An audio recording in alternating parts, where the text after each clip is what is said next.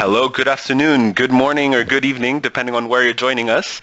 Um, it's a pleasure to be with you today for, for the webinar um, in anticipation of the event that we're organizing in, in Amsterdam in February of next year, uh, which is our Making Solar Bankable uh, in Emerging Markets events focusing on uh, evolving business models. Uh, it's a real pleasure to be here with you uh, today. Um, we have a, an opportunity to look at uh, a number of different topics um, related to, yeah, the future of emerging markets or PV uh, solar in emerging markets. Uh, so we're very excited to be here today. Um, we have a, a, pretty interesting program with a number of different uh, speakers uh, that you can see on your screens now. Uh, first of all, my name is Borja Gutierrez. I'm a team leader here at Solarplaza of our emerging markets and finance team. Uh, responsible for our portfolio of events in emerging markets, uh, one of which is uh, an event, of course, that we will talk a little bit more about that we co-organize with, with our partner FMO uh, for the second edition of uh, one of our most successful events in the portfolio events, which is Making Solar Bankable. Uh, the second edition I'll tell you about in a minute. Um, um, my short introduction will be followed by a presentation by Javier Relancio, uh, who uh, basically is, is a solar program leader in Mott MacDonald. Um, he, his presentation will be followed by Ana Verena Lima, who's South America lead analyst with uh, Bloomberg New Energy Finance. Uh, and finally, uh, our partner for this event, Frederik van Pallandt, who's a manager of the energy department uh, for FMO uh, with focus on Asia. Uh, so we have a very extensive global coverage, I think, for this event, some very interesting speakers. So just quickly before we start, a few practical notes. Um, this will be an interactive webinar. We'd love to encourage you all to, to ask questions throughout the webinar. Uh, just to be clear, we, we will go through you know, our three presentations first uh, and, and leave the Q&A to the end. Um, but please, please, throughout the webinar, at any point, you can, you can ask us if you have any questions related to the content, but also if you have any technical issues or anything, please feel free to, uh, to uh, put your questions into the, the question box, which uh, you should be able to see on the right side of your screen uh, within this GoToWebinar uh, tool. Um, also, I would like to, uh, to also remind you that the presentation slides I'm recording will be made available to you after the webinar, so we will we'll share with you with, the, with the means to be able to get to those, those slides. Um, so just very quickly, as I mentioned, this this uh, this webinar, which will focus on how much, uh, you know, the question that we're asking is how much solar can emerging markets actually handle?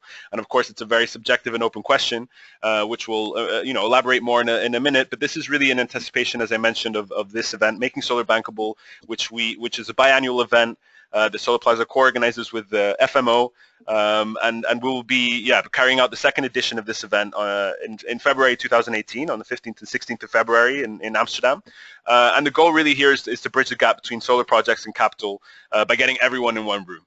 Uh, so we aim to have 500 plus developers, uh, investors, financiers, all the key stakeholders in developing solar projects in, in emerging markets uh, with, you know, a key key focus on, of course, matchmaking and networking with, with the goal of, um, you know, moving, uh, you know, closing projects and, and getting, uh, you know, deals financed. Um, and also with regards to the program itself, we'll be looking at, you know, a mixture of, of different um, scenarios in which in, in, in which uh, you know financing issues uh, occur. We'll look at uh, you know how, how, what the state of solar is in emerging markets and several other very innovative topics. Uh, and and this, uh, as I mentioned, will be taking place in Amsterdam. Um, just quickly, as I mentioned, it is uh, a second edition of an event that we co-organized in uh, February of 2016, uh, a bi biannual event which we organized. And in this first, you know, on your screens you see a few statistics from that first event. Um, you know, it was, I think, from the expectations. Uh, you know, as a first-time event, you never know what to expect. We had a huge uh, global attendance uh, from, you know, people from from over 45, 44 countries attending. You know, so very, very interesting distribution as well of, of, of types of people. We got great uh, reviews. Uh, you see some of the, the testimonials of people what they experienced last time, uh, and of course we we you know aim and strive to to make it even more relevant and interesting as as the industry also evolves. Um, and also as you just to give you a sense of the types of people that were there, uh, as you see we had a, a very good division between sort of on the one side financing and investment, and and, and sort of you know having project developers and, and uh, utilities IPPs sort of you know connecting with each other and and all of uh, the other facility, industry facilitators around that. Uh, and as you can see, also very high level uh, of attendance in in uh, in the company. Uh, just very quickly on, on Solarplaza, for those of you that, that don't know us, um, you know we're we're uh, basically a company that's that organized uh, events since 2004, specifically focusing on uh, on solar PV. Um, our team, as I mentioned, we really focus on emerging markets and, and particularly on, on finance-related topics, and as we see one of the major challenges. Uh, and, and yeah, we've worked in over 25 countries. Uh, we continue to do these events, and, and as I mentioned, the, the, the event that we co-organized with uh, with FMO, which is this Making Solar Bankable event, is one of the uh, the most important uh, within our portfolio. Um, so the first speaker that we actually have with us today is Javier Relancio. Uh, he works with uh, with Mott MacDonald's. He's actually, in fact, their, their African Solar Program leader. Uh, he's based in Cape Town. Um, we've worked with uh, with Mott in, in, in, well other events that we've done in Africa and other areas, uh, and and really has a very extensive experience, uh, you know, throughout Africa uh, working with, with different, you know, a number of different governments, a number of different uh, institutions and stakeholders, um, you know, relevant to, to the growth. Uh, so playing a very influential role uh, in the growth of solar in, in Africa. And he, he basically would like to, to spend some time to share with us a, a few of their, uh, their findings. Um, and yeah, it would be really, yeah, so I'd, I'd love to uh, basically pass the floor over now to, to Javier. so I'll just activate his microphone. Javier, are you with us? Um, yeah, can you hear me? Yes, very well. Thank you very much, uh, Javier. I've also passed over the, uh, the the role of well, you're able to should be able if all goes well to change uh, between slides, and if not, let me know and I can do that for you. Uh, but yeah, I would love to give the the, the floor to Javier. Brilliant. Thanks very much, Borja. Um, and indeed, thanks very much for uh, allowing us to present at this webinar. It's uh, it's great to to have the chance to, to present to the audience. Uh, today we are going to be talking about the sustainable growth of solar hybrid and energy storage systems in emerging markets. Um, I don't know if I can move the slides. It doesn't look like it, Borja. Right.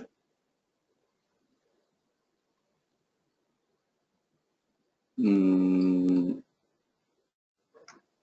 Okay, it just looks like there is a little bit of delay. So uh, yeah, I'm going to be looking at it from, uh, or we are going to be looking at it from some different angles. Uh -huh. um, before we do that, I'm going to quickly uh, introduce uh, Mott MacDonald. We are an uh, employee-owned business with over 17,000 staff located worldwide in across all the different continents. It's worthwhile mentioning at this stage that actually in this presentation there has been inputs from different locations across the globe and also from uh, different teams, including the energy advisory team, including the grid, uh, grid integration team and uh, solar team and the energy storage team. We are working across um, all of those uh, technologies and also many others, and we are also a multi-sector company, which I'm not going to get into. Um, our key services, uh, again, are provided in this slide, which will be circulated later, and we are more than happy to respond to any queries that the audience has. Uh, we have, as you have uh, said before, as a company, a broad experience in uh, renewable energy projects. We have been working in, uh, in various projects across all different locations in the world. Um, these also include, as you can see in this uh, reference list, some hybrid systems and systems already with energy storage. And um, as I said, uh, in different roles across different locations. Um, I'm not going to introduce Mott MacDonald for any further. If anybody uh, from the audience wants to contact us, uh, there is my contact details at the at the end of the presentation. Uh, now talking about the key considerations for sustainable growth of solar hybrid and uh, and energy storage in emerging markets, we have identified three different angles that we are going to briefly analyze in the in the next slides. Um, from a policy and legal framework perspective, we have seen that, uh, well, my, my, experience is mostly in Africa, but I think uh, that from my colleagues that work in, in other emerging markets, this is mostly the case. Where there is good policies, this is uh, the main driver to attract uh, interest and to uh, create market confidence for inverter, investors and, and lenders. So it is very important that the policy is clear and it's published and known to everybody and it, it is aligned across all the stakeholders in the in the uh, country. So that includes uh, the different government um, departments. It includes the utilities, the regulators, and all the different stakeholders that will have a say in the project. Uh, the legal frameworks need to be in place and they need to be satisfactory again for international standards. So things like the PPA, the implementation agreement, um, the grid code and, and, all of these documents uh, have to be robust. The country has to have clear plans on where it wants to go and a long-term view uh, rather than, uh, you know, like changing ideas over what they want to do. And this needs to be, again, known to the industry so that people can plan accordingly. The procurement processes, we have seen much more success where these have been open and transparent. And if, particularly for larger scale projects, but also we are seeing this in uh, smaller projects. The off-takers risk seems to be uh, something very important for the investors and the lenders. Final consideration needs to be given to what we call the triple bottom line, which is uh, that balance between financial, environmental, and social requirements and incentives to, to drive a good policy for the country. It goes without saying that uh, bad policies can have a detrimental effect on sustainable growth. Um, it is very, very important that lessons learned from other international markets are put in place in, in every new country that wants to implement these. And uh, again, there is a lot of uh, registers of lessons learned. We have uh, supported many countries and we have our own, but I'm sure that uh, there is uh, a lot also in the public domain. Um, another angle that we would like to look at is from the industry and uh, technology. And here it is really, really important that there is alignment between the in-country capabilities and the expectations that any country that is going to develop these markets has and the sustainability of the global industry. So uh, it is clear that technology industry and intellectual property have brought growth to, to many countries and uh, uh, we see many cases that they are inclined to bring local manufacturing, distribution and service offering uh, considering that this will bring growth to the economy and also mitigate logistic challenges and, um, and potentially reduce costs. This depends very much on the country. However, it is very important that the uh, sizing of the local versus the global market uh, it's it's clear and the expectations are met. For instance, um, it is not it doesn't it might not make sense uh, that in a small market of say a couple hundred megawatts they are expecting from the market that there is going to be a manufacturer that it's going to settle there. And uh, however, it would make sense in that case even that things like the O&M contractor or the asset management is done in country and uh, that would also create jobs and capabilities in the country and potentially at a reduced cost. For that, uh, there will still need to be training of the local capabilities and all of these things need to be considered in the in the policies. Something that definitely in most cases will need to happen is that the industry of the country needs to be prepared to a certain extent for uh, receiving these projects. So things like um, industry capabilities need to be developed in the short, mid and long term, sometimes before the, the programs is, are implemented. And it is important for the global industry that there is access to the local machinery and skilled and unskilled labor. Another aspect to consider is the technical standards, which we normally recommend to the local countries to embrace standards that are internationally recognized in order to allow manufacturers to plan for the various markets rather than to have to adapt the designs for each specific market. Um, the other angle it's from an investor's perspective. And we believe that uh, emerging markets, I mean, this is uh, has been heard before, have, have a huge potential. There is also some uh, saturation of the less developed, sorry, more developed markets, which is attracting a lot of interest to, to develop markets. And uh, this comes at different uh, sizes of investors due to the scalability of, uh, of solar projects. It can be from small investments to large investments. On any of those, we have seen a lot of motivation and action from DFIs and IFIs that have a strong interest in investing in these markets, but also driving them. We think that part of this is uh, because of the um, also good name that grid technologies have, that are attracting a lot of interest from uh, from a lot of international uh, countries. Mm, what we have seen, and uh, this is more of a positive note, is that many countries are progressing in terms of the policies and frameworks, and uh, we keep seeing some countries doing very good uh, steps in the right direction. Um, as I said, my experience is mostly based in Africa, but uh, from my colleagues in other markets, I understand that same thing is occurring. Some of the challenges that we should consider, though, it's um, uncertain policies and roadmaps. So it has happened before that uh, a country starts with a policy and there is uncertainties along the line and the roadmap is not as clear and this generates market uncertainty and doesn't, it detracts investment. Um, it needs to be, in order to manage the expectations, we need to clearly understand properly the LCOE for the different uh, technologies and projects and planning the long term. Sometimes uh, certain technology might be perceived a little bit more um, costly and in the long term it, it actually makes a lot of sense. Um, integrating PV in grids can also be a challenge, but we believe that this can be mitigated with hybrid projects and uh, the offtake protection we have already discussed it as well as the local challenges uh, in, in the different markets. Um, from uh, solar PV and hybrid technologies for on-grid uh, systems, we believe that this can, again, um, add value to different stakeholders in the market. Um, four of them are listed below. I'm going to go uh, onto each of them uh, one by one to explain uh, our point of view on how hybrid systems can help. From a generator perspective, they can increase the capacity factor of systems by uh, having multiple source generators that uh, and, and even storage so that there is guarantee that there is energy at all times during the day. And also, so thanks to the storage, you could avoid the fluctuation due, due to trips and avoid dumping and curtailment in the case of uh, mostly of solar projects.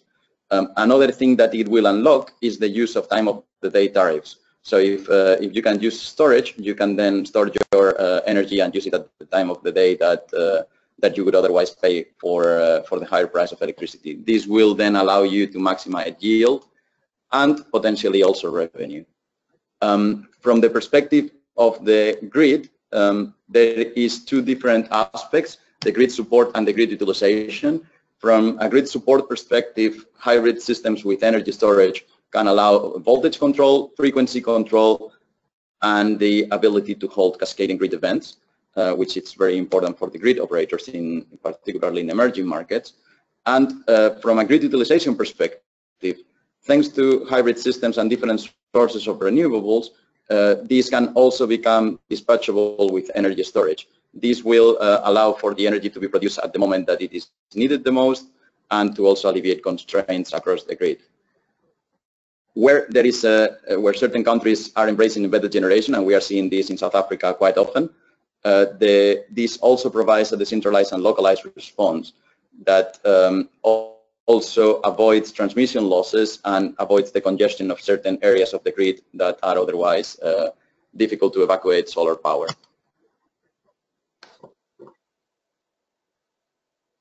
Sorry, this got stuck. Okay, there we go. From a consumer perspective, uh, there is many different angles that uh, that consumers can benefit from hybrid systems and solar systems. Some of the ones that we are seeing the most here in South Africa and in other emerging markets that we are working are uh, to withstand power blackouts, to uh, mitigate the price fluctuations of energy in the future, in many cases to reduce their cost, with solar already being competitive in, in, in many cases against the grid, the concept that is called grid parity. This is actually supported by the fact that with uh, energy storage, they can use the batteries to avoid buying electricity from the grid in the most expensive times of the day and also they can receive benefits in their invoices from a capacity charge reduction perspective and power factor correction that can be motivated in the in the costs. Um, some points to comment is that uh, the capital cost of consumer generators have reduced a lot and with consumers rich, but there is also the concept of uh, energy as a service coming into embedded generation. So yeah, there is a lot of possibilities for consumers. From a government perspective, the uh, embedded generation and hybrid system can allow for um, the capacity to grow in a scalable fashion and in a very quick timelines. So this uh, helps them to control the generation to meet uh, the demand profile in the in the country and the growth.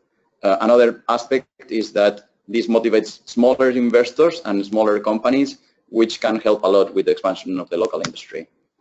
Um, some of the challenges that we have seen is the complexity of hybrid systems, which we are happy to help with, the uh, expertise in, uh, in the countries and in the areas where the projects are being uh, implemented, the grid management from the utility perspective for smaller operators, and in many cases where it is needed, wheeling uh, has become an issue. So what is fair to be charged by the grid to trans transfer the power from a location to another and, and be sold in a different location to where it is produced.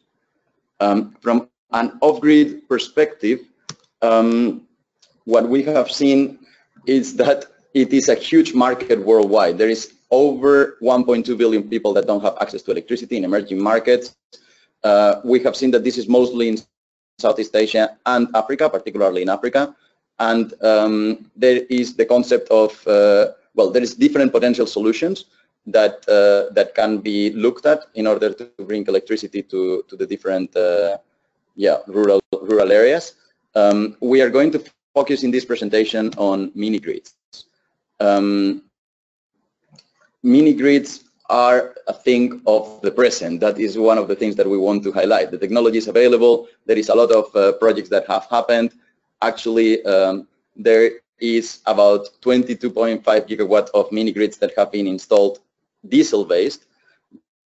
But um, what we are seeing is that solar can already be more competitive than diesel, and in many cases, definitely more competitive than being in the grid.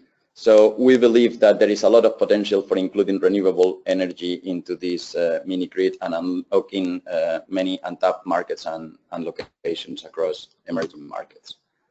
Um, some challenges that are being faced with mini grids include the um, correct demand modeling, the selection of the generation sources, the what topology of systems shall I use, which technology. In many cases, uh, many of the considerations come with business models to be used and how to uh, make them in line with uh, the local context and the local capabilities in the areas of these uh, mini grids. Again, we have a lot of experience uh, in-house and there is a lot of lessons learned uh, on this field and unfortunately it's not, I don't have enough time to, to go into each of these separately. Um, from an energy storage, and these are the last few slides, um, perspective, uh, what is the role that it can play in potential uh, in emerging markets? There is very different technologies depending on the on the use, um, and this graph illustrates them very well depending on the capacity needed and the amount of energy that it is expected that the storage systems will will deliver to the grid. Uh, what we have seen in general, though, is that uh, there has been uh, growth over the last few years, and the expectation is that this is going to keep growing and the prices of storage are going to drop, allowing uh, much more um, plants to include storage or even the grid including storage by itself. Um, the in emerging markets where we see that storage can be helpful, and this graph illustrates it at different levels whether storage could uh, could come uh, and, and be connected into the into the grid. It's uh, to maintain the support, the quality of supply, to avoid the blackouts, and um, also, it is worth mentioning that for off-grid applications, it's, uh, it's fundamental to have storage. One aspect for those uh, deciding whether to implement the storage is that it is fully independent of uh, the generation sources. Whatever it's installed later, it doesn't really matter. The challenges that it is facing is access to markets. So there is still uh, restricted incentives and not many countries have legal frameworks in place for storage it needs to be properly understood in order to understand the interrelationship with other services. The environmental and socio-economical aspects are being developed and need to be taken into consideration for the technology selection. And finally, because there was all of these uh, different technologies depending of the use, there is varied CAPEX and OPEX, and expectations need to be managed subject to which technology is better for, for each of the markets. Um, it, there is one last slide on what is the services that uh, are required for the sustainable implementation of these projects. And of course, from MacDonald, we would be happy with, uh, with support with, with any of these. I'm not going to go in detail again. If there is any uh, questions from the audience or anybody's interested in contacting us, we would be pleased to, uh, to help with your projects or, or to clarify any questions that you have. Thanks very much, Borja, and thanks very much to the audience. Uh, thank you very much, Javier. No, very, very interesting. Uh, as I mentioned earlier, we, we definitely and we have some questions coming in, and, and, and I encourage you all to uh, to keep bringing in your questions. Um, we'll, we'll come back to those, but you, you touched upon some very uh, interesting points. um, you know, which we, yeah, which we, we're very happy to sort of discuss. I mean, obviously your fo key focus is on Africa, but I think many of the points that you've uh, brought up are obviously very relevant, uh, I think, in any of the emerging markets that, that, that we look at. So, so definitely, I, I, definitely want to come back to some of those uh, those points that you raised. Um, but uh, yeah, indeed, what I what I would like to do now is is to change. Uh, you know, again, we'll come back to it, um, but I would like to move to to our next speaker. Uh, so thanks again, Javier. I'll come back to you in a bit. Um, but I would like to now pass the the role of yeah presenter over to to Anna. Uh, Anna is, um, you know, South America lead analyst with Bloomberg New Energy Finance. Um, yeah, as, as, as, the title implies, yeah, her key focus is in, in South America, uh, and she's the lead lead analyst with with that uh, region. Uh, she looks at a number of different, um, yeah, power markets in the region. She she looks at uh, everything from policy and regulation to financing strategies. You know, a, a wealth of uh, of information around um, you know, the, the, the, yeah, the growth of renewable energies uh, with some pretty interesting markets. Obviously, Latin America is another one, uh, another region where we see a lot of activity. Uh, I'm sure she'll, she'll tell us more about it her, uh, herself. Um, but yeah, I'd, I'd love to pass over the, the, the word to, to Anna. So uh, hi, Anna, do you, are you with us? Hi, everyone. Um, thank, first, thanks, uh, Solarplaza, for inviting me. Um, yeah, as you mentioned, I'm the South America lead analyst at Bloomberg New Energy Finance.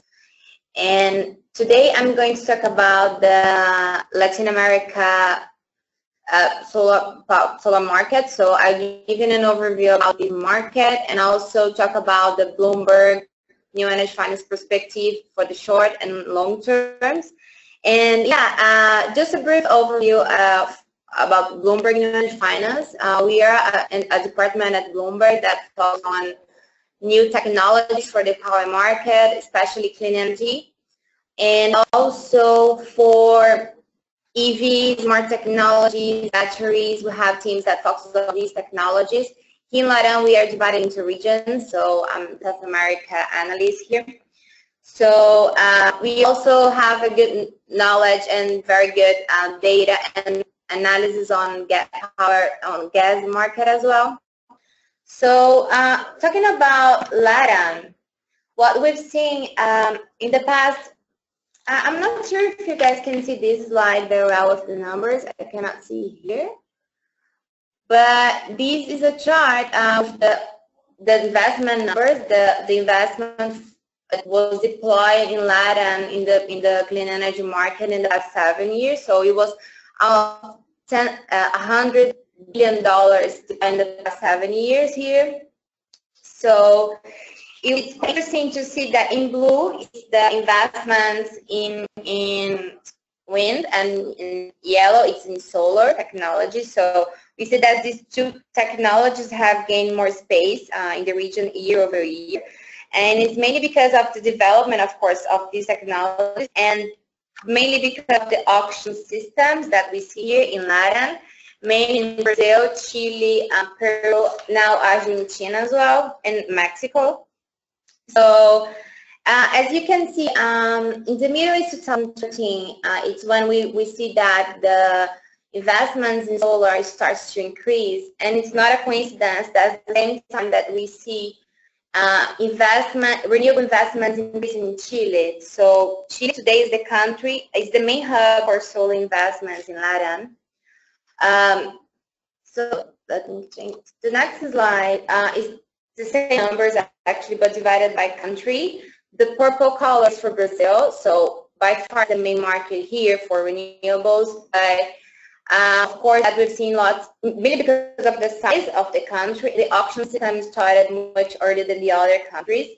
But in, in green and dark green is Chile. Uh, it, it, it's it's a very important country for renewables in the region as well. So we, we have a very interesting contrast between 2016 and 15 and 16. So the 15 year received uh, the highest amount uh, of clean energy investments of about 17 billion billion dollars. So, but we saw a drop of 30% in investment in 2016 that with almost of uh, $12 billion of new capital deployed.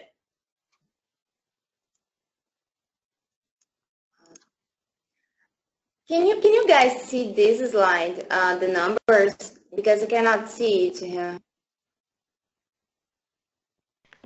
No, for, the, the numbers aren't actually working, so uh, unfortunately not. If you can talk us through those. Okay, all right, just to, just to have an idea. All right, the, the last chart, um, it's the, the size of the solar market in Latam in terms of its capacity. So uh, the, the total is that we have 3 gigawatt of solar plants online here at the moment in the region. So in, in, in green, it's the share of, the, of Chile. So Chile has 66% of the PV plants installed in Latam and Chile, in, that's in, in gray. In gray, uh, it's Honduras with 16%. Um, so then we have the other countries. So the charts on the right are the the capacity additions by year. So the same the same three gigawatt installed, but by a year, how much of that was addition? So the, the, the highest one is 2016. So the, the on the on the right is update is 2017.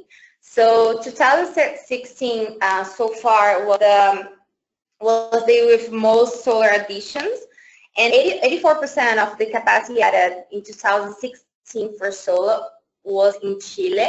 So now so far in Latin, we have um, around 433 megawatt of solar uh, plants were commissioned in 2017. And as I'm going to show later on, uh, we're expecting 1.8 this year, like a bit more than, than last year.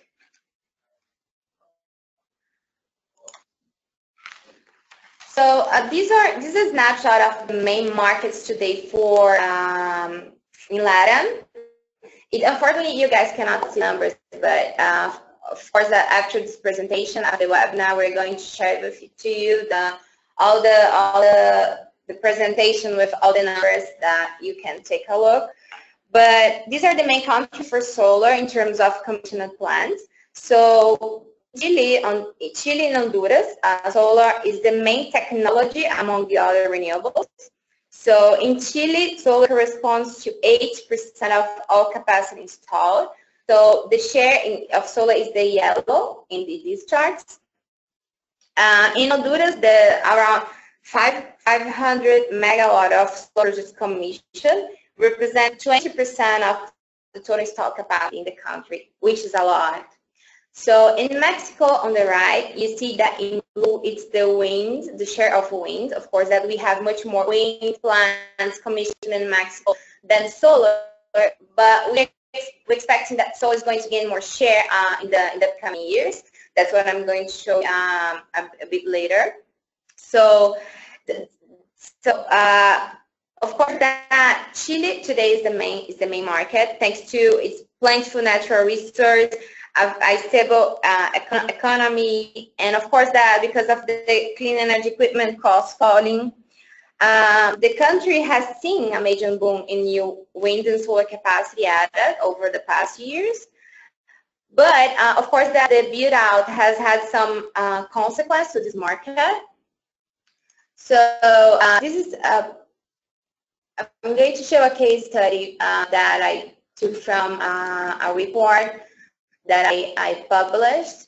Uh, uh, the report is mainly about the clean energy impact on the cheap grid and wholesale price because it's quite interesting to see that the country has so much potential to receive such amount of uh, investments, but of course that the grid, the country needs to be prepared to receive such amount of investments. It the same happens with Africa, the same happens with China, for example, with curtailment and we like the country really needs to uh, walk along the, the investors and try to prepare the country to receive such amount of investments for intermittent sources that are mainly wind and solar. So this chart, uh, it's the it's the monthly generation of wind and solar and in blue and yellow compared to the spot price, the monthly spot price uh, in the SIC system in Chile. It's the that, that's the region north of the SIC system in Chile. It's very good for uh, renewable plants to be installed. And these two um, nodes, this, these two spot price came from Diego de Almagro and Montecillo nodes that the, the, the nodes that are near to uh, this such concentration of renewables in that region. So as you can see, we see an indirect relation between the increase on the wind and solar generation a long time with the decrease on the spot price. So we see that it's dropping uh, the, the spot price in the country.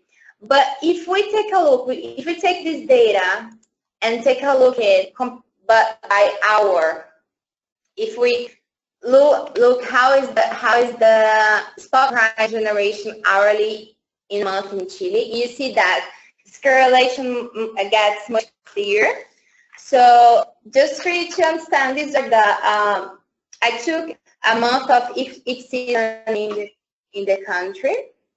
So um, summer here in the south in Chile is uh, between December and March.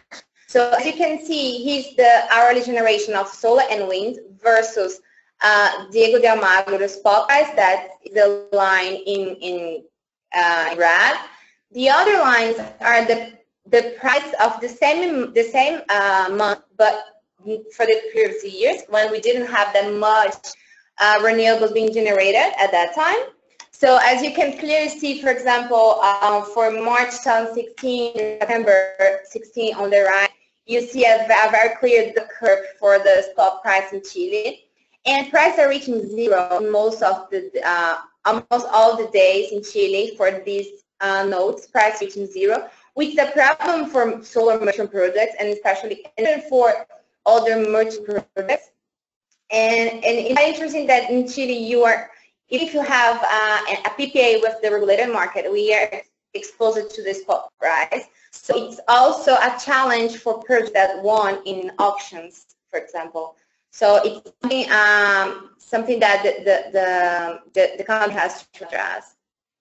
So, and here's the curtailment. Um, the number of curtailment, uh, the power curtailed in Chile uh, between August 15 and September 16. So curtailment started, actually renewable curtailment started in Chile in August 15. Uh, on the left, in gray, is also amount of wind and solar being curtailed, that were curtailed, but at that time they were uh, disclosed and by technology. That's why it's in gray, but it's also for wind and solar. Uh, just for you to have an idea, uh, between August 15 and September 16, around 200 gigawatt of solar and wind generation went unconsumed in Chile or curtailed. So it represents 5% of all such power produced during the same period. So it was a lot. And it's clear that curtailment um, also reflects a lack of, of available local transmission. So that's what what the government is trying to to to understand and solve. So now the Chile there are two huge transmission lines under construction, but of course, but the market is still uh, waiting for more um, for more plans for the transmission system to be published and to put it uh, in practice in order to solve this problem for the to, to, to in order to to make the, the country to receive more renewable investments. So here's our short-term forecast. So at Bloomberg Energy Finance, we focus on short-term and term forecast for the for the clean energy market. The short term, we do it for uh, clean energy technologies, but the long term is for the whole matrix. That's what I'm going to show in a few minutes. So this is the Latin solar capacity additions forecast. It's uh, it it goes by, by it goes through 2020. The last the last um, bars for 2020. The biggest one that you can see in this chart is 2018. So we are expecting that 2018 we will have around seven gigawatt of solar projects commissioned in the region, and most of these come from um, the projects that were awarded in auction in the region. So in blue, as you can see in light blue, is Mexico. So all, all of, most of all of these issues come from the options that were awarded. In gray, it's um, it's for Brazil, and then in, in, it's quite interesting to see that we see Argentina uh, finally showing up in our forecast. Uh, we're expecting around 700 gigawatt of solar capacity to be added in 2018. So just, uh, I don't have too much time more, but the, the last slide is this one. Uh, it's our long-term forecast. It's called New Energy Outlook. We do it every year. We finish the 2017 that we are going to launch it in New York next month and probably in, for Latin we're going to do a, um, an event to launch the NEO 17 in August here in Sao Paulo. Uh, so here's um, the difference between the, the, the Latin power matrix in 2015, that's the pie, uh, is the pie chart on the left. And 2040, because this, this forecast is until by 2040. So you can see on the left, uh, uh, on the around 307, 370 gigawatt installed in, in Latin, we see that we are we are we rely a lot on large hydros in blue and natural gas in, in gray, mainly because of the Brazilian market for hydro Paraguay and other countries here in South America, and for, for natural gas mainly because of Mexico. So we see that the chart in the middle is the annual addition of capacity for this technology. So in yellow, it's, it's solar again. And we are now dividing here the utility scale and small scale, I can anticipate that around half of the solar capacity that we are expecting to be added to be early every year until 2030. Half will be, will, will be for small scale PV. So we're expecting that this market is going to, to have a huge boom in the region. And it's quite interesting to note that in, in pink is the flexible capacity. So um, it includes batteries, it includes thermal plants, especially gas plants, to be dispatched on for demand response. So we also expect lots of uh, demand uh, flexible capacity to be added uh, in the coming years, uh, especially to to get this grid more stable, and of course that we are also expecting these countries um, in order to to be able to a certain amount of uh, renewables. Uh, th that's what, what, I've seen now that the country is trying to prepare the market for the future. It's trying to build more transmission systems to being able to receive such amount of investment in the country. So yeah, that's my uh, my presentation, and of course you'll be able to have these, these slides at the end um, after the, uh, the webinar. But if you have any question, if you want me to, I don't know, to, to focus on any other topic that I can do it during my presentation, please uh, feel free to send me an email and, and or even uh, before or after my presentation at the end of the webinar. Thank you. Thank you very much, Anna. Uh, very interesting presentation. I just wanted to also apologize uh, to everyone watching the, obviously the slides, the, the numbers and, and figures on those uh, slides weren't showing up. Something happened uh, in the transition of the slides, so uh, apologies for that. But as Anna mentioned, you will be able to, to get the slides uh, from her and her teammates. Um, you can see her, her email in this slide, but we will also share that with you uh, following the webinar, so you can also follow up uh, specifically to to uh, yeah to get those slides as well. So, but apologies for that. There is indeed a lot of data behind those, but, but great job, Anna, of explaining. Um, you know, the the without any of the numbers, the corresponding figures, it was really uh, great to understand. Um, you know, all of these trends. And again, uh, you know, I encourage you. We, we we're getting some quite some questions in. You know, to to keep asking these questions, whether it's about LATAM specifically or or other things. We'll come back to them. Um, so so yeah, our next uh, speaker is is Frederik van Pallandt. I mentioned at the beginning of this webinar that that the event that this is uh, that this webinar is, is in anticipation for making solar bankable. We are actually co-organizing with FMO. There are uh, co-organizing partner in this event as well as the last edition. Uh, and Frederik is, is uh, well, the key contact for FMO and the organizing uh, committee. Uh, but more importantly, Frederik is, is the, the manager at the energy department of FMO, focusing on, on, on Asia. Uh, and yeah, so I'll, I'll let him explain uh, a little bit more where, where FMO uh, stands and, and what their uh, you know thoughts are with regards to Asia and with regards to this topic of uh, you know where, where solar is going in emerging markets.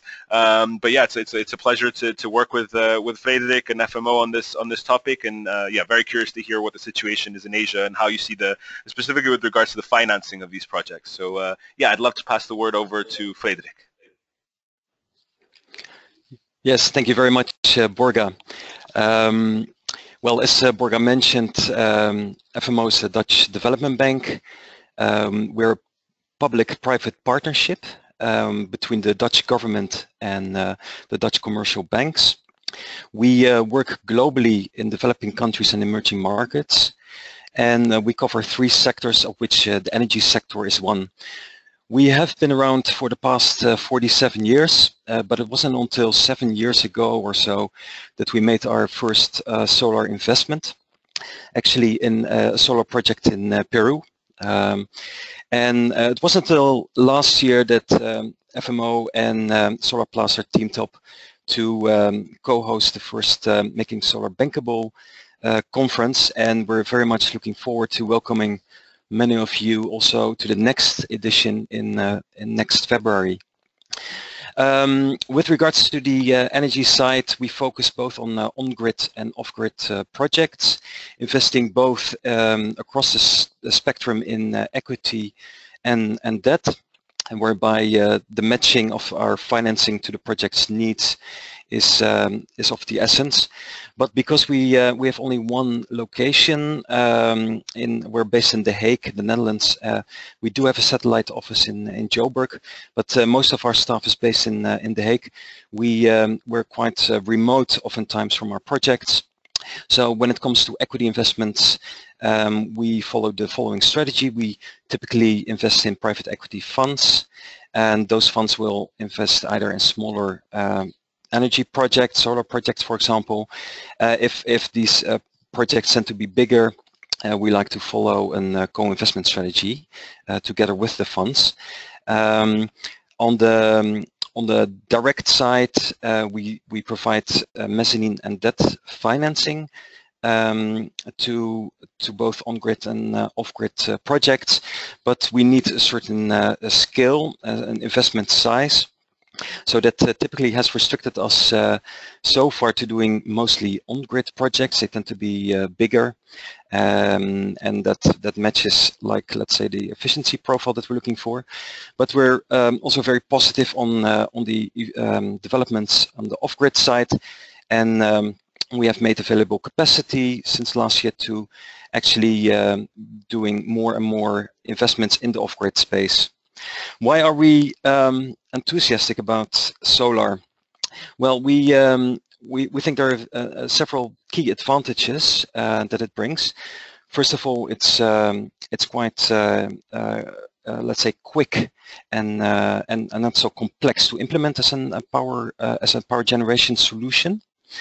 Um, so in, in, in, comparison, for example, we uh, we are also investing in hydro projects, which tend to take a long time to uh, to build, and uh, come with all kinds of uh, you typically environmental social issues with solar that's traditionally uh, more limited.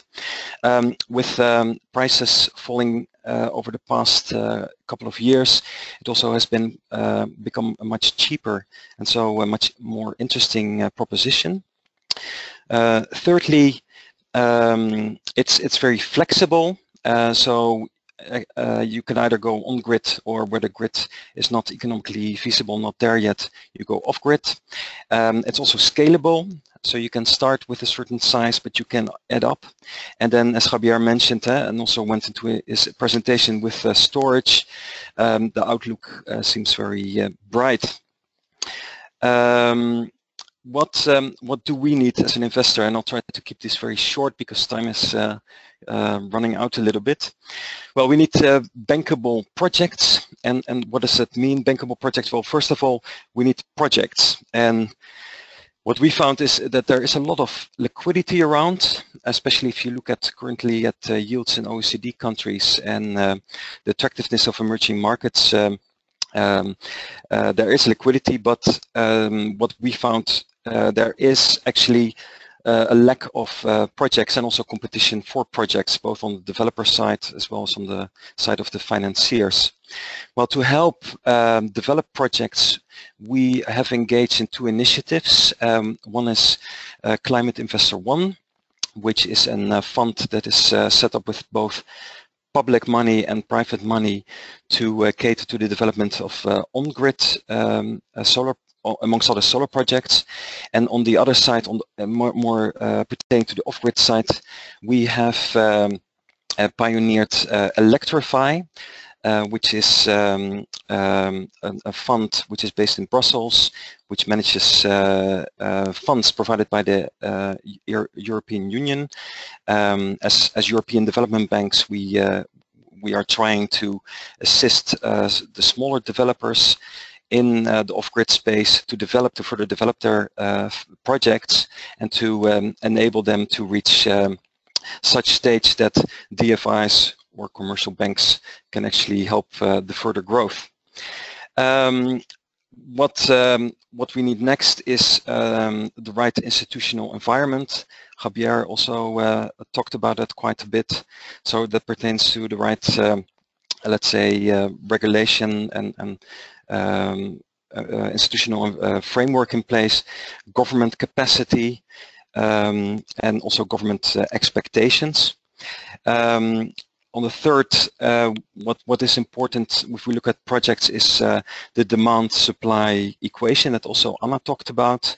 Um, we, we, we, we like stability and that's also why uh, the institutional environment is very important when we look at it, but also uh, we need to have comfort on how the demand side and supply side is uh, developing in, in countries.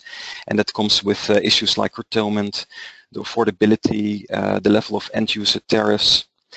Um, so on uh, on the demand supply side, um, there there are various uh, macro uh, considerations, and then if you, if you spe specifically pertain to the on-grid side, if you take uh, talk about uh, offtake, uh, sorry, the, the, demand side and um, and project specific, you you come to the offtake. Um, we we are working in Asia in markets where um, yeah, where, where you have a market-based uh, system, but we also work in uh, in countries that's quite diverse in that regard, where you have um, either uh, feed-in tariffs or um, uh, privately negotiated um, uh, tender-based situations. And of course, we, we need to study the, the offtake situation and the reliability also of the offtake going forward. Um, then very important is uh, the aspect of project implementation. Um, we're looking for the right uh, parties in, in, in, the projects that we're uh, working with to implement the project. And uh, when you talk about project implementation, as uh, Javier also mentioned, uh, the environmental and social aspects of the of the project are very important.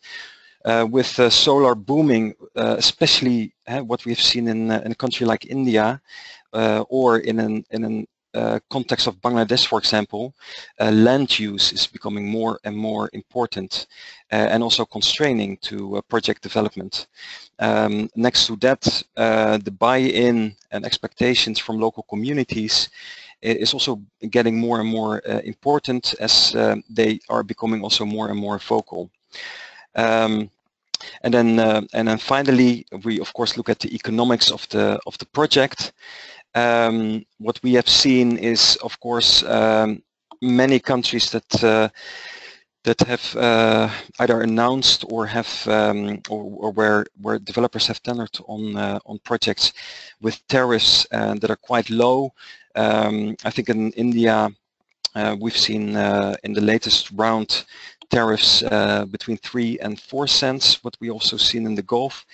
And what is very important, that's also an important role that we have towards the government, the, go the, host governments, is that situations differ and that you cannot expect uh, the same tariff to apply to different countries, uh, which of course have very different situations.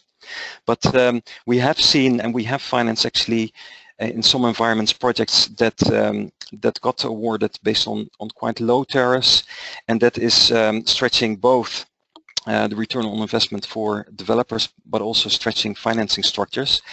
And I think that's uh, that's something that will continue to go ahead in the future um, and we, um, I think we have an, an important role um, a community to see how low can you go and how to safeguard also the economic viability of projects. Um, well, very brief note on, on, on Asia because it's it's very large and I, I didn't bring uh, slides precisely because of the issue that Anna ran into just now. Um, but the, the region is quite diverse where we see most action at the moment in, in solar is of course uh, India. We're also actively looking in uh, at projects in uh, in Bangladesh and we're very uh, eagerly waiting um, you know, developments in, uh, in Vietnam going forward. We also think that Nepal has a very interesting uh, proposition resource, especially because it's quite dominated by hydro and, and solar can uh, can provide like a good uh, substitute to that. Um, and we are eagerly waiting, let's say, developments in in Pakistan. Just a few um, uh, yeah, countries that I uh, singled out, but very, very eager to further discuss and answer any questions that you you have. Um, and I would say, hopefully, we will be um, seeing each other in uh, in February next year at uh, our joint conference in Amsterdam. Thanks, uh, Borja.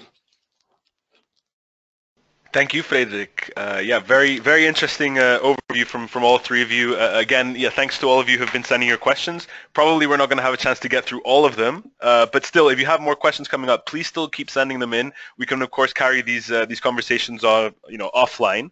Um, but yeah, so so you know, moving into uh, and in this case, what I'm going to do is I'm just going to activate all, you know, Anna, Frederik, Javier, and and Rick, all of you will be able to, to sort of speak freely. I might direct questions specifically to, to one of you uh, here and there, but I'll unmute all of you so you're able, uh, you know, to, to join the conversation. Um, but one thing I'd first like to ask is with regards to, um, yeah, I mean, basically one of the things we obviously see is, is a tendency uh, for pricing to, to obviously decrease. I mean, you, you know, this has been mentioned in several uh, presentations that we see, you know, prices go extremely low. Uh, I'm actually curious to, to see where, you know, each of you thinks that, that prices might end up? I mean, uh, whether it's in your respective regions, and I realize this is a very, very, uh, you know, open question. It depends on so many factors. But generally, I mean, do we see it? We're, yeah, we're seeing sort of three cents, uh, uh, you know, prices in, in, in, many, even in emerging markets. Whereas, you know, a few years ago, people were saying, oh, anything below 15 cents is uh, it's impossible. Um, yeah, maybe I can start with Anna. Anna, what do you think? Do you, do you see the prices continuing to uh, to decrease further in, in Latin America, where you're focusing? Yeah, uh, it's a very interesting question because um, there are some uh, points that that worth mentioning.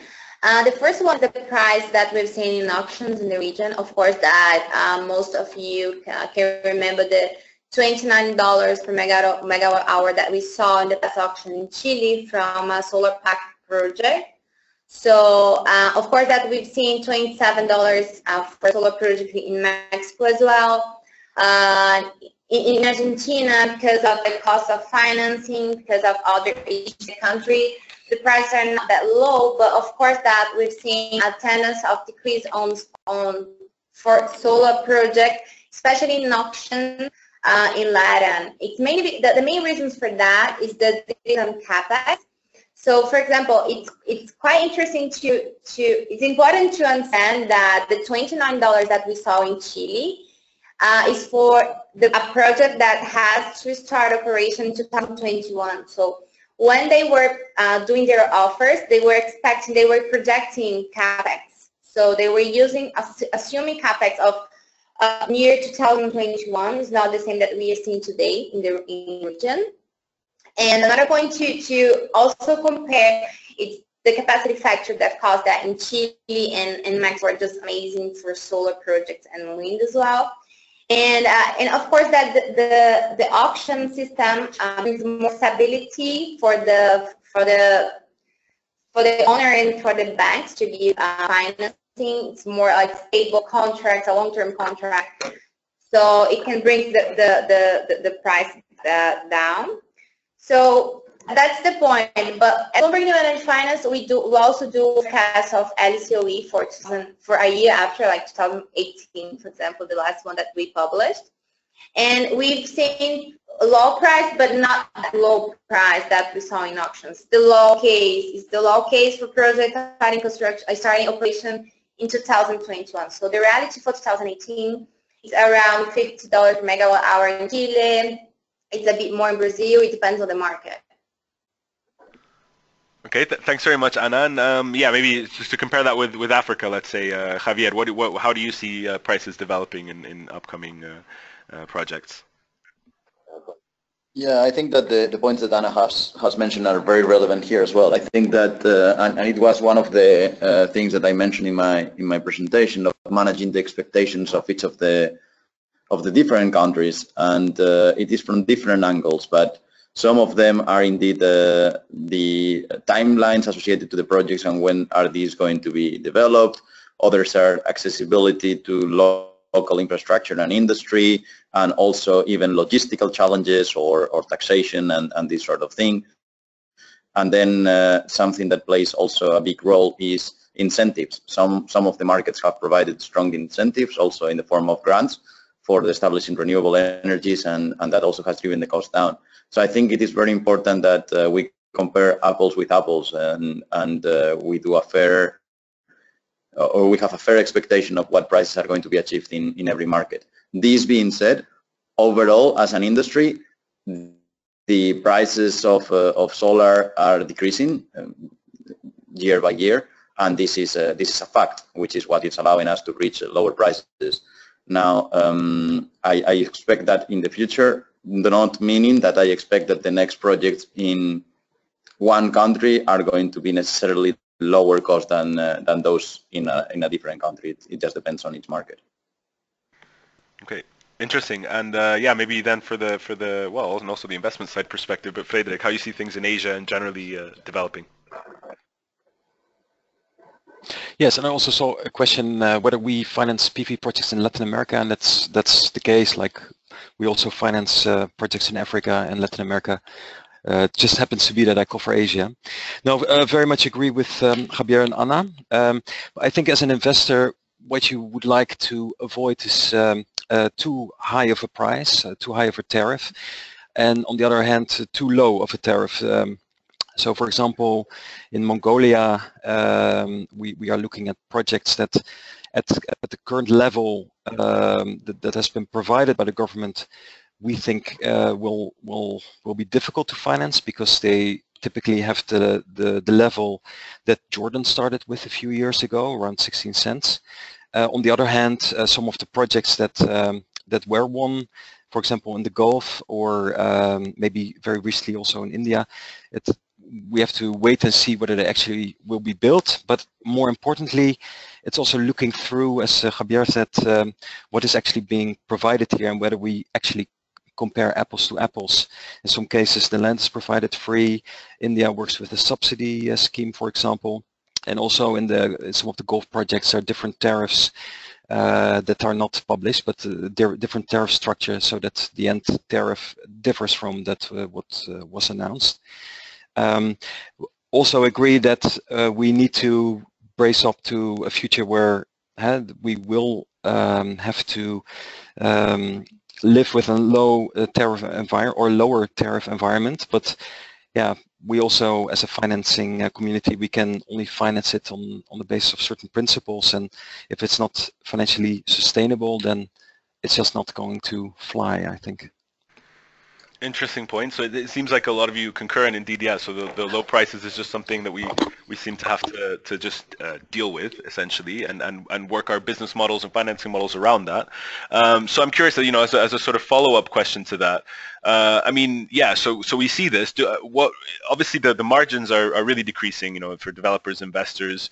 Um, maybe maybe first I'd like to ask this question to to Javier because you, you sort of touched upon all these new new models, and also keeping in mind that I know all three of you, uh, you know, have initially predominantly focused uh, almost exclusively on utility scale, uh, and we've had you know separate conversations, and I see in, in all of you that you know increasingly off-grid is a big part of of your focus of your of your you know portfolio or wish portfolio.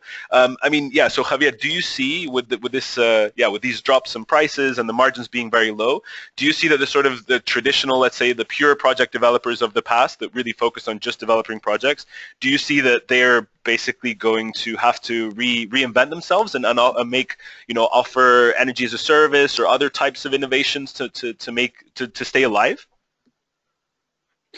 Um, I think it's a it's a very very uh, interesting question that you raised, Borja. Um, I don't necessarily see it as needing to adapt themselves necessarily. I just think it is another new market that that is raising and it is being uh, yeah it's becoming available indeed among other things due to the um, lower prices that we are seeing in the market but also due to advances in technologies due to better understanding of the business models and, and many, many different considerations. Uh, bear with me that in many cases, what it is unlocking more mini grids and, uh, and access of renewables to rural areas is as well methods of payment and understanding better the business models on how to, uh, you know, for the local communities to embrace renewable energies. And this plays a very, very important role. Um, we indeed, uh, we discuss, as, as you know, with uh, many utilities that are working at different levels in the industry. And we see certain utilities saying, no, we're going to remain focused on larger scale projects and, uh, and you know, like being in that, in that fight. But there is many others that are definitely coming in with, uh, in some cases, creative ideas on how they can uh, access these, these other markets. We believe that it's going to be a, a mix of things with uh, utilities in, in the many fronts and, and different companies in the many fronts, different fronts. But the mini grid, until now, it has been mostly dominated by smaller companies, in many cases, uh, even NGOs or social enterprises, and we, we do expect that there will be more utilities being interested in, in that front and larger companies, definitely. Interesting. Maybe Ana, do you have any, any further elaboration on this? Yeah, uh, just to add uh, to what Javier said, uh, I, think that at the end, the, the, the whole market must be re reinvented. Uh, the, the, the market has to, to get adapted to new intermittent source being connected to the grid. Uh, so the governments must follow this, this trend uh, by providing more a better infrastructure to, to receive some amount of intermittent source being connected as well as new technologies with batteries, uh, with flexible capacity, demand response, and so on. So uh, especially for, for LATAM, I can say that for each scale, the biggest barrier to is the transmission system capacity and uh, a very good um, like connection between uh, terms of and, and, and batteries, the price of the batteries and so on. I think that in the midterm, we're going to have a better sense on this, how the government, how the, the regulators are going to work with renewables and investors trying to get the best uh, from these, these new tenders, uh, that's investment in terms of source. Mainly because of the environment and because of the price, they are getting very competitive uh, when we, compare uh, solar and wind to other sources. And the other point is that for, for uh, mini grid smart grid, I think it depends a lot on the government as well to, to plan uh, how, how it's going to be, how it's going to be the structure of the power market in the country in terms of uh, limiting uh, where is going to be uh, where is going to go the transmission line and until what, which point we are going you can put a mini grid without like 10 years later you have like a transmission line being connected and then you lose your or that you have you all the investment that you have deployed in the past. So I think that the, the, the market is, is getting adapted, is, is still getting used with this new business model. So yeah, I think it's it's it's uh, it's changing right now. Interesting. Borja, can I can I add something there on that on that front just very quickly? Um, of course. That that is indeed one of the that is indeed one of the aspects that was in uh, my presentation as one of the challenges for mini grids, which I didn't unfortunately have the, the chance to expand much on, on them. And um, I, am talking about the uh, putting together a mini grid and then the grid eventually reaching that, that area where the mini grid had been implemented.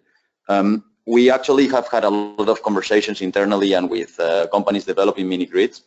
And we believe that subject to the design of the mini grid already taking that possibility into consideration, it's actually going to add value to the to the community and to the grid in any case by um, allowing for more centralized, decentralized response closer to the community and also allowing for the storage to then becoming sort of like a potential support in case of uh, blackouts or for ensuring the quality of service. So we think that there is indeed some, again, new technologies that are considering that scenario, and it shouldn't put uh, anybody off from considering a mini grid, even if in five, ten years time, the grid might reach those, those locations. Interesting. Yeah. No. Thanks. Thanks for adding that. That's a that's a very interesting point, and and I know that you're doing a lot with uh, with regards to really uh, looking at, at these different growth scenarios and how how that might work. So very interesting. Uh, Federica, maybe with a slightly different, and of course, feel free to to uh, to sort of elaborate on this. But I'm also curious. I mean, with regards to sort of the financing of, of projects, obviously as a uh, as a financier, in some cases, investors are providing equity. Uh, you know, the margins for you, and you're you're a development bank, so it's it's arguably the of course the impact of your investments are very important. But um, yeah what do you see as a sort of long-term uh, progression of that? Do you see more commercial banks coming in? Uh, you know, can they come in with with uh, with these smaller margins, or same with, with sort of equity investments? What types of inv investments would you see in, in in the long run?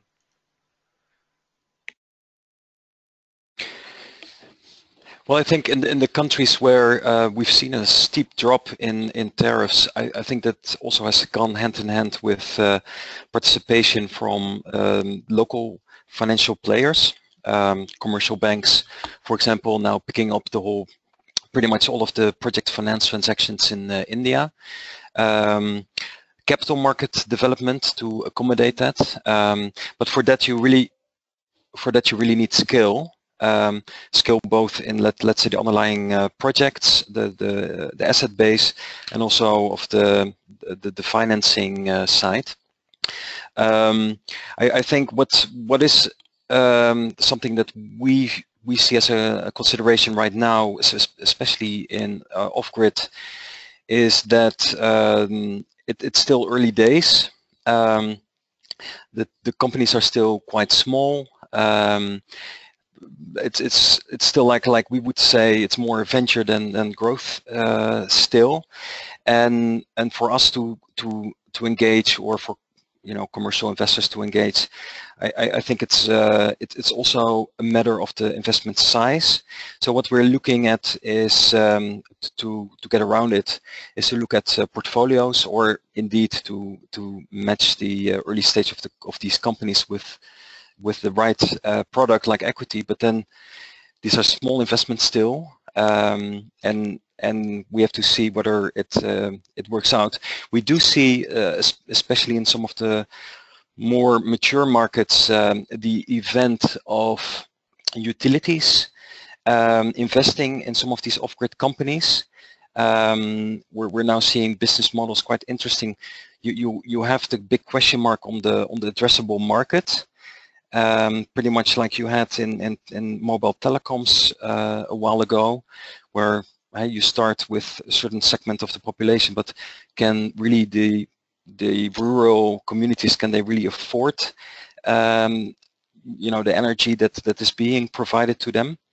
And we see now the advent also of an um, uh, like hybrid models where uh, for example uh, telecom uh, towers are provided by uh, by solar powered solutions um, at the same time uh, small and medium uh, business enterprises are taken um, along as, as well as residential. So you see the um, yeah like different segments being being combined where you have a stability of some base revenues which uh, makes it more attractive for commercial investors or, or development uh, financiers like uh, like us to uh, to get involved. Excellent. Thanks. Thanks very much, Frederik. Um, yeah, I mean, so so so basically, I, mean, I know we've covered a lot of uh, different, a number of different topics. You know, ranging from, uh, you know, everything from well, the the latest thing was was financing. We were looking at different business models, a lot of different segments. I mean, obviously, we're answering a huge question here, which is how much solar uh, can emerging markets actually handle, and arguably we we haven't answered that, and and and there's so much, uh, you know, to be considered, uh, especially when we're looking at things globally.